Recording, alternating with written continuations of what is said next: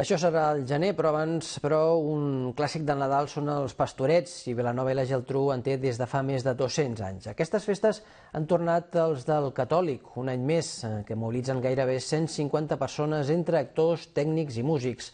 Les representacions van començar el dia de Nadal i s'allargaran fins passat Reis.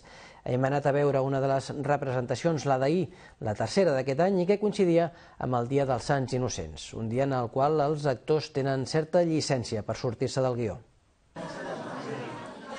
Darrers retocs de vestuari, algunes indicacions abans de pujar a l'escenari i el públic omplint la sala del Teatre Círcul Catòlic mentre els músics també es preparen per tocar. Són els moments previs a l'inici dels pastorets de Vilanova i la Geltrú i de cop comença l'espectacle amb les aventures d'en Lluquet i en Rovelló. Tinc gana! Vaja, ara té gana sempre de rondinar per una cosa o altra. Vinga, aixeca'n! El Círcul Catòlic ha tornat a aixecar el taló per representar els pastorets, una proposta típica de les festes de Nadal també a Vilanova. Van començar el 25 de desembre i la proposta mobilitza desenes de persones que aquests dies es converteixen, diuen, en una gran família. Es representen els pastorets en moltíssims llocs i això ja ho sabem, però jo crec que el Nadal sense els pastorets per molts de nosaltres ja no és el mateix. O sigui que sempre estem aquí, a més fem família, fem amics, ens ho passem bé, mm, pugem a l'escenari, cantem, o sigui que jo crec que és una activitat que fins i tot quan ve el públic intentem transmetre aquesta festa no? del teatre de Nadal.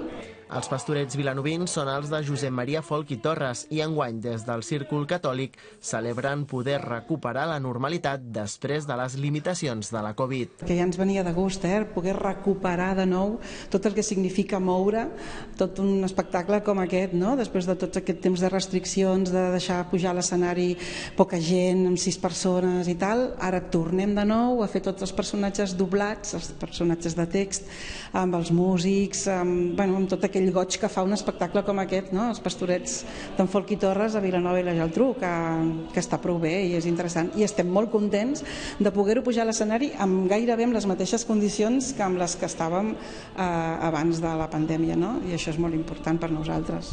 La representació que coincideix amb el Dia dels Sants Innocents sempre incorpora alguns tocs divertits durant l'obra, que la fan especial aquest dia i que el públic, que ja ho sap, sempre espera trobar. David, David, David, ja no sents. 25% en castellà. Anda, va. He dit tota l'estona, 25%. Sin friega ni reposo. Serà nostra guerra. Les representacions dels pastorets continuen dissabte 30 de desembre a la nit i els dies 1, 6, 7 i 8 de gener a la tarda.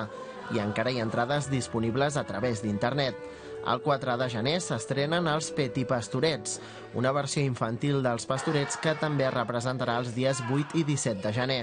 El Círcul Catòlic col·labora amb la Fundació Josep Carreras amb el donatiu d'un euro de cada entrada.